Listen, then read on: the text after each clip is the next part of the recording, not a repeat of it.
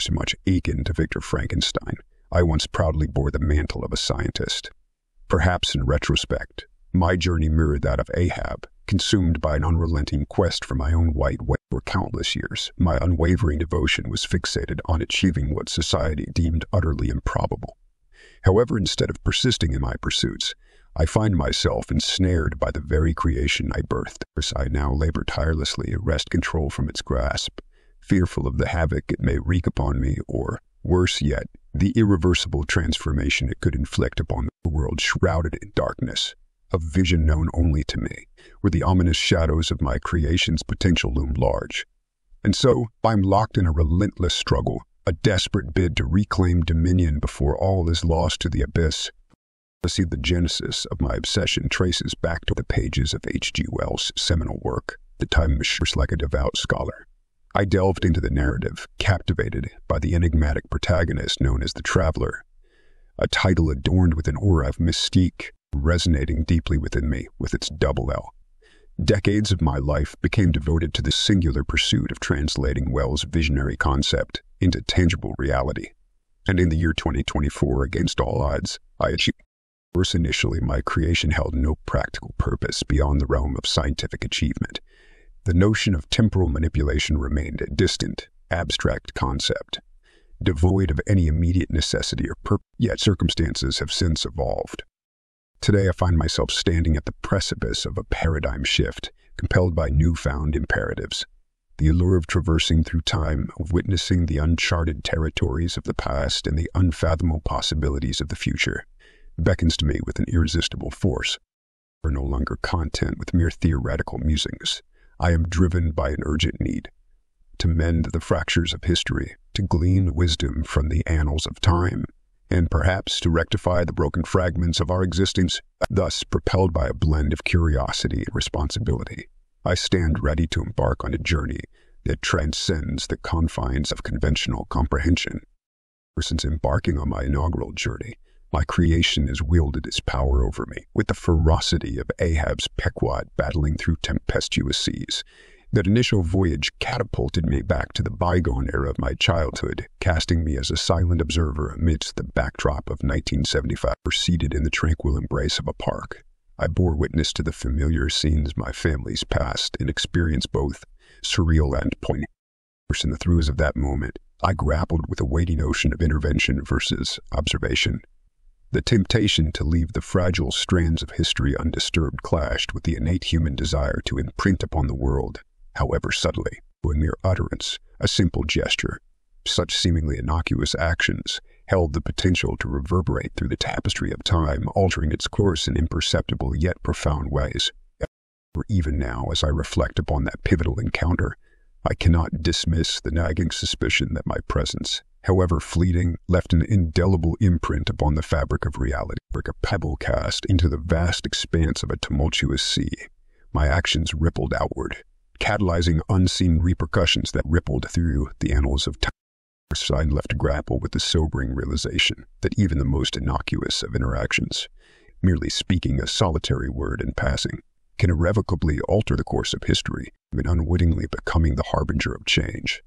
I have become acutely aware of the profound responsibility that accompanies my newfound ability to traverse through time. In an unforeseen twist of fate, I find myself entwined with thee, the very essence of my creation, akin to the monstrous progeny of my own making. Since that inaugural voyage, I've been ensnared in an inexorable spiral, my agency eroded by the relentless reverberations of that initial ripple through time. Each journey only serves to amplify the chaos thrusting me into the turbulent currents of history without respite or reprieve. Like a mariner adrift upon a storm tossed sea, I am powerless to chart my own course amidst the tempest of temporal flux. Desperate for semblance of control, I yearn to unravel the mysteries that bind me to this perpetual cycle of displacement. Yet, with each fleeting moment, the elusive grasp of understanding slips further from my reach. Pursue as only I could harness this enigmatic force bend it to my will, I would seize the opportunity without hesitation. Alas, it remains beyond my grasp, an elusive specter taunting me with its tantalizing potential. Thus, I am left to navigate this uncharted realm with trepidation and uncertainty, forever at the mercy of my own creation. Out with each passing day, the routine accomplishment of mundane tasks metamorphoses into an unpredictable odyssey, hurling me into uncharted territories of time and space. Nearly two years have elapsed, during which I've traversed the depths of history and catapulted into the enigmatic realms of a future unknown. As within this temporal kaleidoscope, I have borne witness to the Earth's transformation, encountering beings whose existence transcends the bounds of temporal coherence. The landscapes of the past unveil a prehistoric tapestry teeming with creatures long relegated to the annals of extinction, while the distant future unravels the unsettling tableau of humanity's evolution. The metamorphosis of our species unfolds before me, an unsettling revelation of the inexorable march of time. Yet amid these temporal excursions, a disquieting sense pervades my consciousness. Some experiences blur the lines between reality and illusion, akin to ethereal visions or dreams that play out in a surreal catatonic state, or if only the solace of waking from such a phantasmagoria were granted, where the disconcerting tapestry of time unraveling before me were revealed as mere figments of a dreaming mind. Was the boundaries between reality and reverie remain blurred, leaving me to grapple with the unsettling notion that perhaps, in the vast expanse of temporal chaos, reality itself has become an elusive dream relentless cycle of time travel punctuates my existence with unwavering regularity, a daily pilgrimage to the precipice of temporal displacement initiated at noon, the very hour of my inaugural journey. Each passing day becomes a relentless battle against the inexorable tide as I labor tirelessly to unravel the enigmatic mechanisms binding me to this perpetual odyssey. Despite my tireless efforts, the elusive solution remains just beyond my grasp. With each passing noon, I am reminded of my dwindling reservoir of time and resources, a solitary figure adrift in the vast expanse of temporal uncertainty, lost amidst the labyrinth of time. I grapple with the crushing weight of isolation, a solitary voyager navigating the unfathomable depths of existence. On with each passing moment, the chasm of solitude widens, leaving me to confront the stark reality of my predicament. Adrift in a sea of temporal chaos, I am but a lone soul striving against the relentless currents of fate. This labyrinthine journey through time plunges me into a perpetual state of disorientation, where the boundaries of when and where blur into an indistinct haze of uncertainty, remote speed of men, reft of temporal bearings. I find myself often reliant upon the benevolence of strangers, posing the same plaintive inquiry. Excuse me, where oh, Yet the responses I receive seldom offer the solace of clarity, omitting the crucial detail of the year, an oversight born of the assumption that such information holds no relevance. Thus, I am compelled to delve deeper, interjecting the awkward query. And what year might it in the eyes of those whom I implore for guidance? I am met with a spectrum of reactions ranging from bemusement to outright disdain. To them, I am but a solitary enigma, adrift in a sea of temporal confusion a fool grasping at the elusive strands of reality. For though I cannot fault their incredulity, their laughter serves as a poignant reminder of my own absurd predicament. In their eyes, I am a mere aberration, a transient anomaly disrupting the veneer of norm. And so, I navigate this temporal labyrinth with a sense of resignation, forever condemned to the role of the fool in the eyes of a world that cannot comprehend the depths of my plight.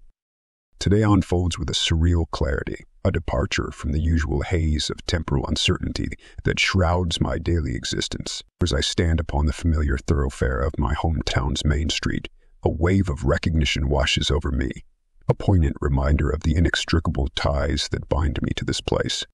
Before me stands the town's iconic single screen movie theater, its weathered facade a testament to the passage of time.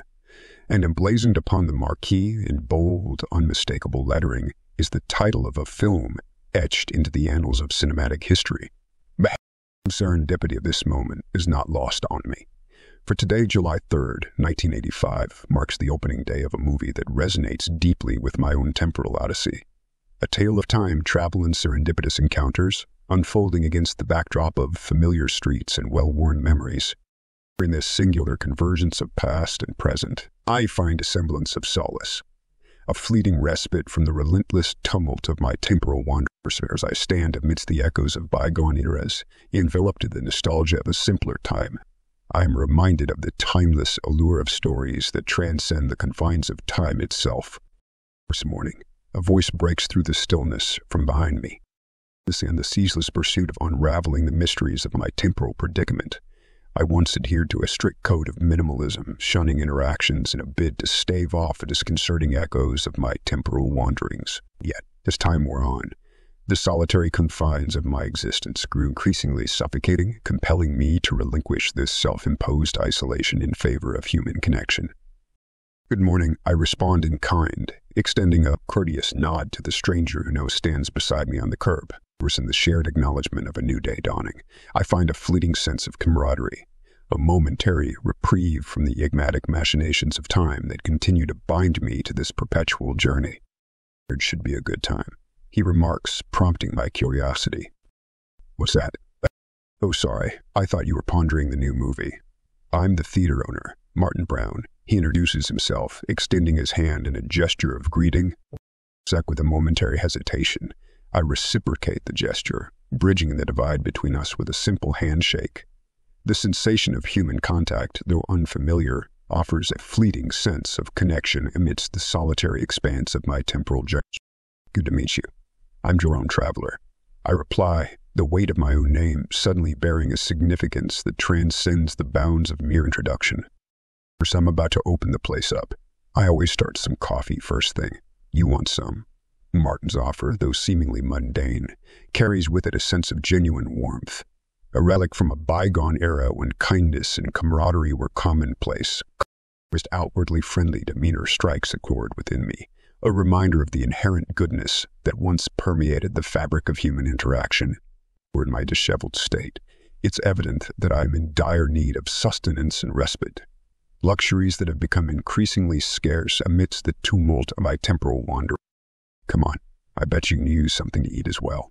He continues, his keen observation betraying the gnawing hunger that gnashes within me.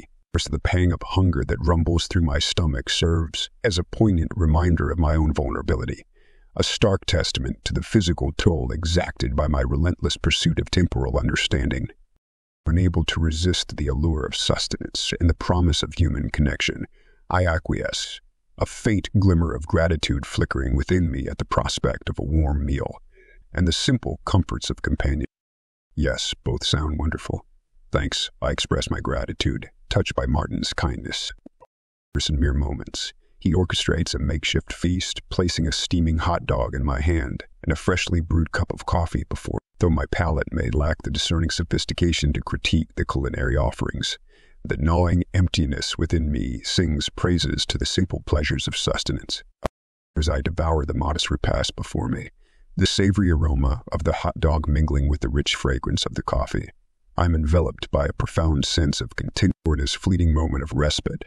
Amidst the comforting warmth of human connection and the nourishing embrace of food, the void within me finds solace, a temporary reprieve from the relentless tumult of my temporal journey. Martin reappears in the lounge, bearing a medium-sized cardboard box cradled in his arms. This is the lost and found. You may find a few things in here that fit you, he explains, setting the box down before tossed a sweatshirt and a pair of pants on top. Both are mine. We look about the same size. Grateful for his thoughtful gesture, I sift through the contents of the box, a motley assortment of forgotten belongings waiting to be reclaimed. With a sense of quiet appreciation, I retrieve the proffered garments, noting the comforting familiarity of well-worn fabric and the subtle scent of home. As I don the borrowed attire, a sense of belonging washes over me, a tangible reminder of the bonds forged through acts of kindness and compassion in the simple exchange of clothing.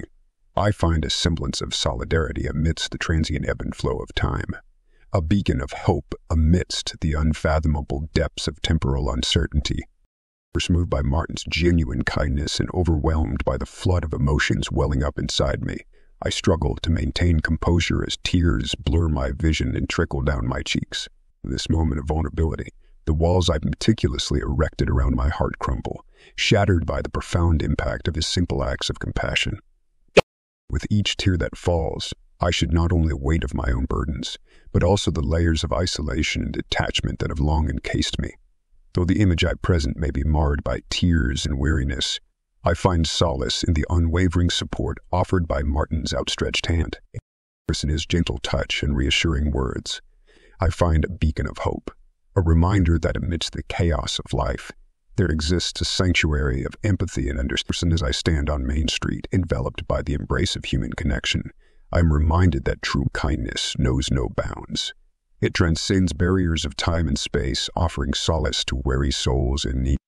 In the quiet aftermath of my emotional release, Martin remains a steadfast presence by my side, offering silent support and unwavering companionship as I navigate the tumult of my inner turmoil. With a gentle hand resting upon my shoulder, he stands as a beacon of stability amidst the tempest of my emotions, his silent vigil a testament to the enduring strength of human connection. As I gradually regain my composure, Martin returns to his duties, all the while keeping a watchful eye on me, a silent guardian ensuring my well-being. Or In a gesture of continued kindness, he presents me with a second hot dog, a humble offering that pales in comparison to the first, yet carries with it the profound significance of shared sustenance and camaraderie. Though the second hot dog may lack the savory allure of its predecessor, I accept it with gratitude, savoring each bite as a tangible reminder of Martin's unwavering generosity in the simple exchange of sustenance. I find solace amidst the chaos of my temporal wanderings, reassured by the enduring presence of human kindness in a world fraught with uncertainty. Martin, what time's the first show today? I inquire, though the question serves more as a formality than a genuine inquiry. After all, I already know the answer, all too well. Was among the eager throng of movie gayers on that fateful day, one of the first to eagerly part with my hard-earned 350 in anticipation of what promised to be a cinematic masterpiece. For the memory of that day remains etched in my mind. A vivid tableau of excitement and anticipation mingled with the faint whisper of nostalgia for a bygone era. As Martin recites the familiar time, I find myself transported back to that momentous occasion, reliving the thrill of anticipation that coursed through my veins as I settled into my seat, eyes alight with the promise of adventure and wonder. Listen Back to the Future, a timeless classic that transcends the confines of time itself, continues to hold sway over my imagination, a testament to the enduring power of storytelling and the timeless allure of cinematic magic. Our first showing is at 1.30. We have about a half hour before doors open. Don't know if you're interested, but I have a private bathroom upstairs. It even has a shower. If you're quick, you can use it, Martin offers, his words laden with genuine concern and hospitality. Grateful for the opportunity to freshen up and restore a semblance of normalcy to my disheveled appearance. I nod in appreciation. Respect of a private bathroom, complete with a shower, fills me with a sense of anticipation a rare opportunity to temporarily escape the relentless march of time and indulge in the simple comforts of cleanliness and solitude. Thank you, Martin. I'd really appreciate that. I reply, my voice tinged with gratitude as I rise to my feet, ready to seize the opportunity to rejuvenate body and spirit before the bustling activities of the day commence. Separate a heartfelt nod of thanks. I follow Martin's lead, eager to embrace the respite offered by this unexpected gesture of kindness amidst the transient ebb and flow of time. With gratitude, I swiftly leave the stool and follow Martin upstairs to the bathroom, where he generously hands me a fresh towel. As I step into the shower, the warm cascade of water washes away the layers of dirt and filth that clung to me, revealing a renewed sense of cleanliness. The transformation is both physical and metaphorical, as I shed not only the accumulated grime, but also the weight of weariness that had burdened my spirit. Listen in the midst of this cleansing ritual, I glance at the pile of discarded, dirty clothes on the floor, a poignant reflection of the emotional and physical toll exacted by my temporal journey. Was without hesitation, I consign them to the trash bin, a symbolic act of letting go of the past and embracing a fresh start. Draped in the borrowed attire from the lost and found, I slip into a Mumford Phys. Ed. Dept. sweatshirt, a nostalgic memento from the area of Beverly Hills Cop. A movie I recall viewing in this very theater, versus the garment, with its subtle connection to cinematic history, becomes both a shield against the external world and a reminder of the shared experiences woven into the fabric of Main Street's timeless charm. Wow, you look great. Martin remarks warmly as I descend the stairs, a renewed sense of vigor evident in my refreshed appearance. Thank you, I reply with a grateful smile. I found a razor upstairs and used it. I hope you don't mind. Or not at all. He reassures me before returning his attention to his task. First, I tossed my clothes in the garbage. But I couldn't leave those stinky things up there. Where can I dispose of this bag? I inquire, gesturing to the bag filled with my discarded garments, now rendered obsolete by my impromptu grooming session. Just out the door there, Martin replies, indicating the exit door at the end of the short hall. Just don't let the door close behind you. You'll get locked out. Grateful for his guidance, I nod in understanding before shifting my attention to his next proposition. And I don't know if you're interested, but I just had my ticket taker call in sick. I could use some help, he adds, extending the offer with a hint of hopeful anticipation. Respect of assisting Martin in managing the theater's operations fills me with a sense of purpose, a welcome respite from the aimless wanderings that have characterized my temporal journey thus far. Would be glad to help. I respond with genuine enthusiasm, eager to contribute to the bustling energy of the theater's opening day and to repay Martin's kindness in any way I can. Absolutely. Just tell me what to do. I reply without hesitation, my eagerness to repay Martin's kindness outweighing any concern for monetary compensation.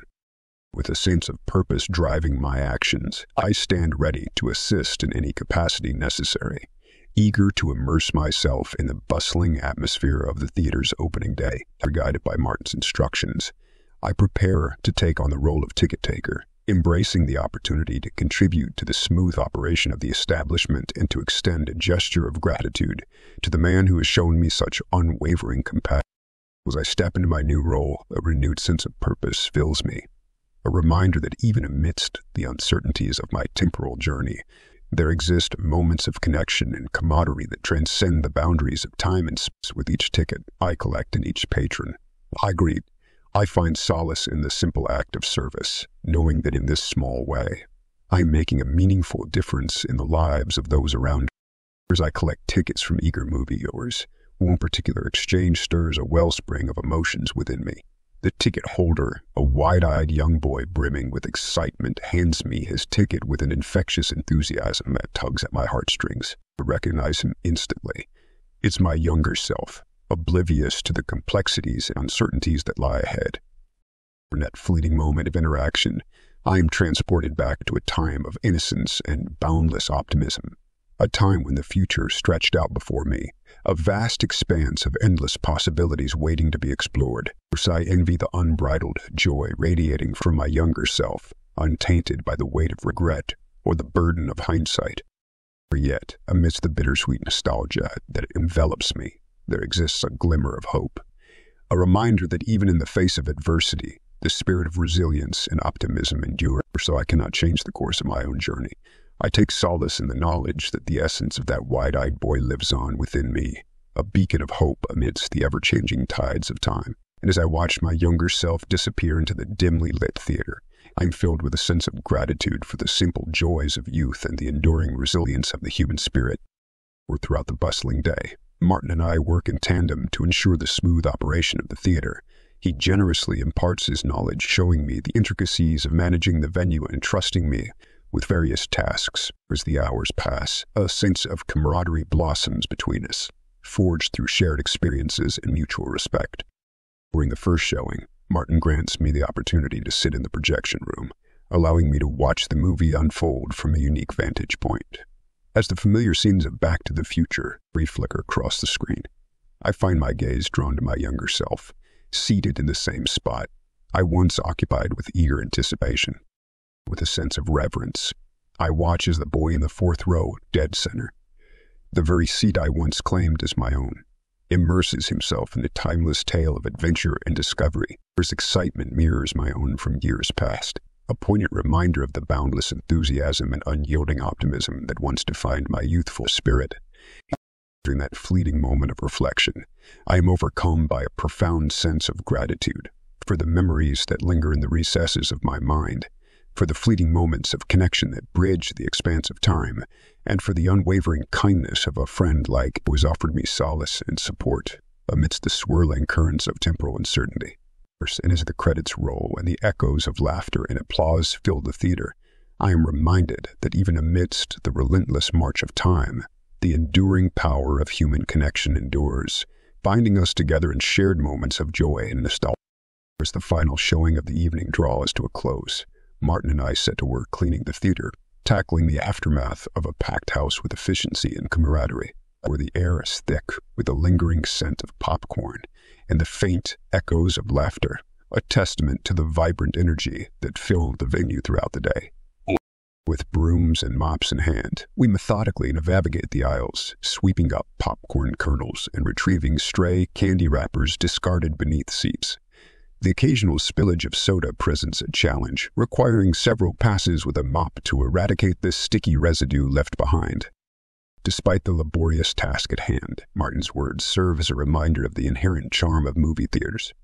The communal experience of sharing laughter and tears, accompanied by the comforting familiarity of sticky floors and well worn seats, poured in the midst of the chaos. There exists a sense of belonging, a shared bond forged through the collective appreciation of cinematic magic.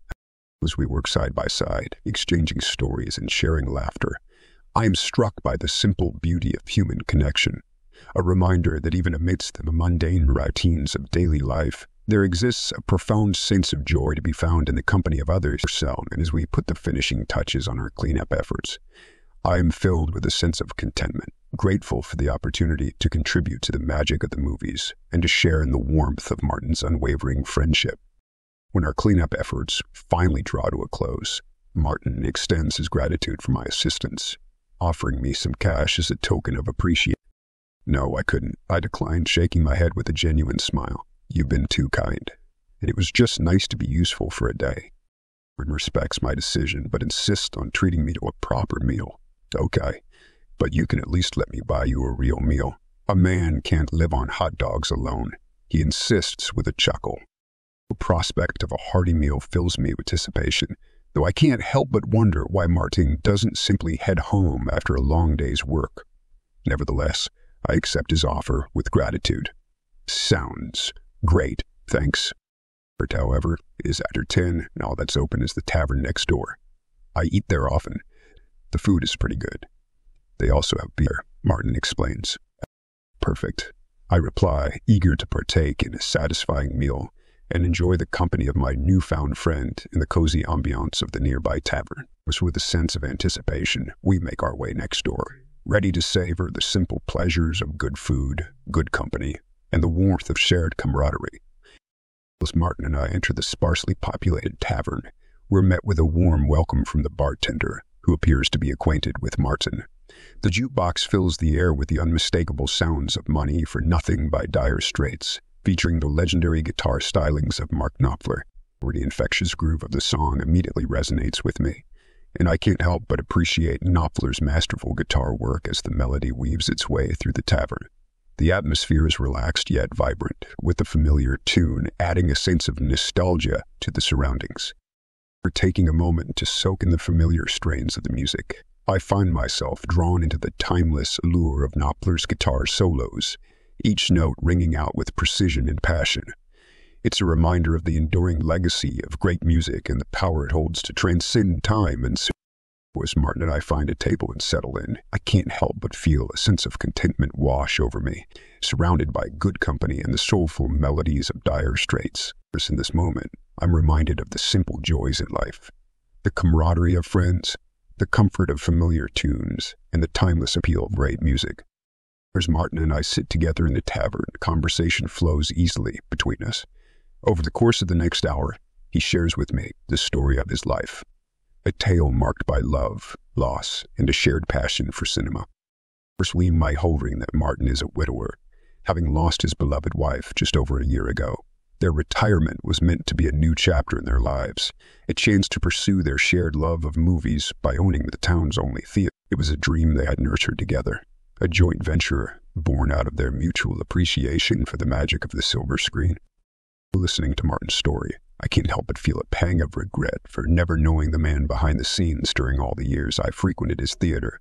His quiet strength and resilience speak volumes, painting a portrait of a man who has weathered life's storms with grace and dignity.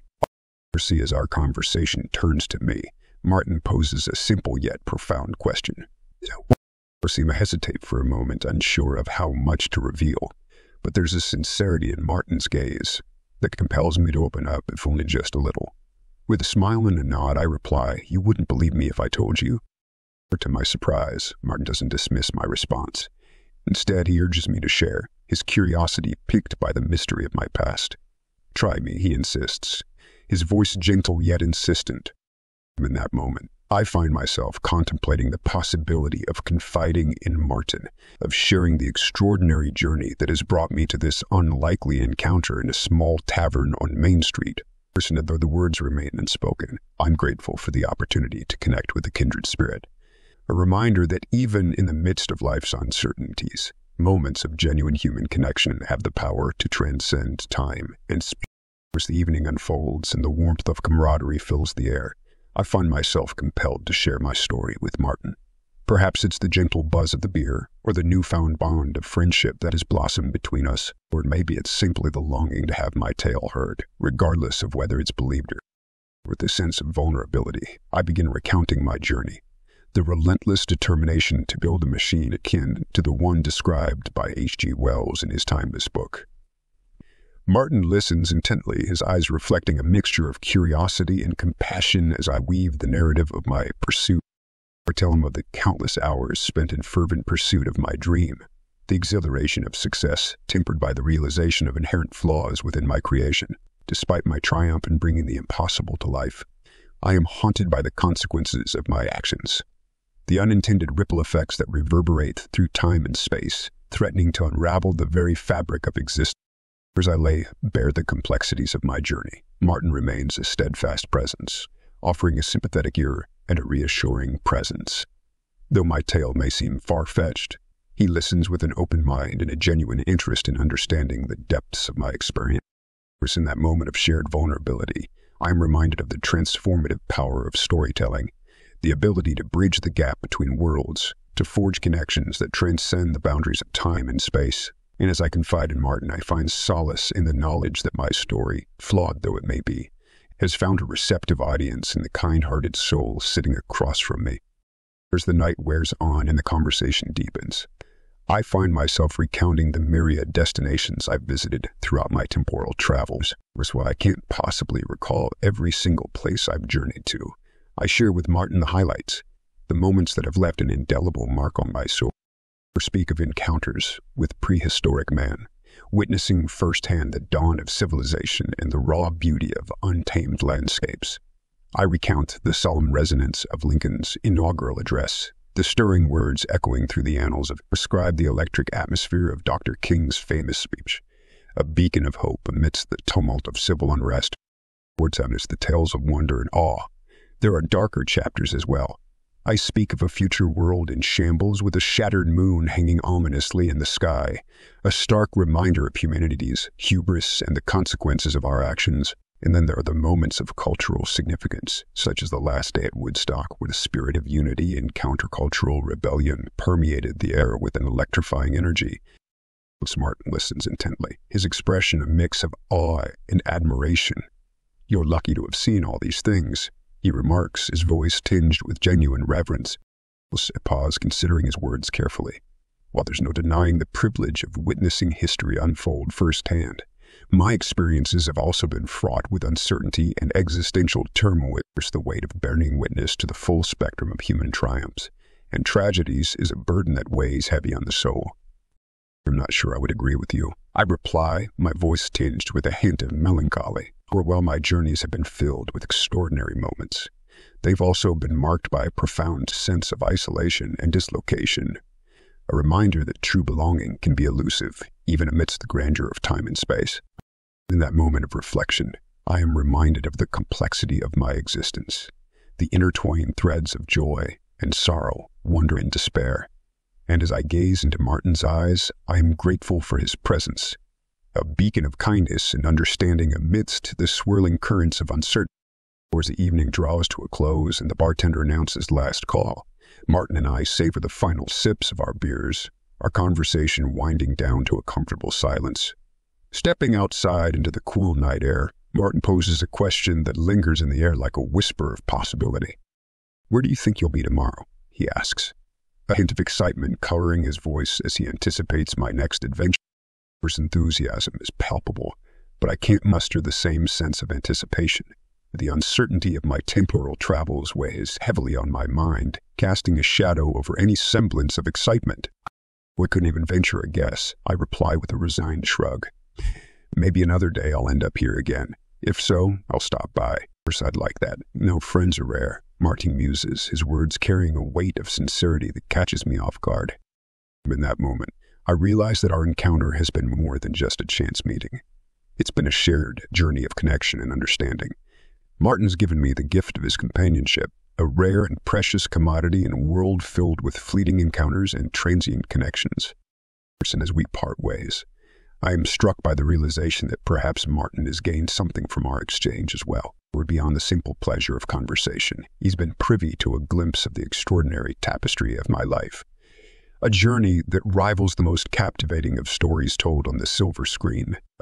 In the quiet solitude of the night, I am grateful for the unexpected bond forged between us, a testament to the enduring power of human connection in a world fraught with uncertainty and change. And though our paths may diverge once more, I carry with me the memory of this fleeting moment, a reminder that true friendship knows no bounds, transcending time and space to unite kindred spirits in a shared journey of discovery and understanding.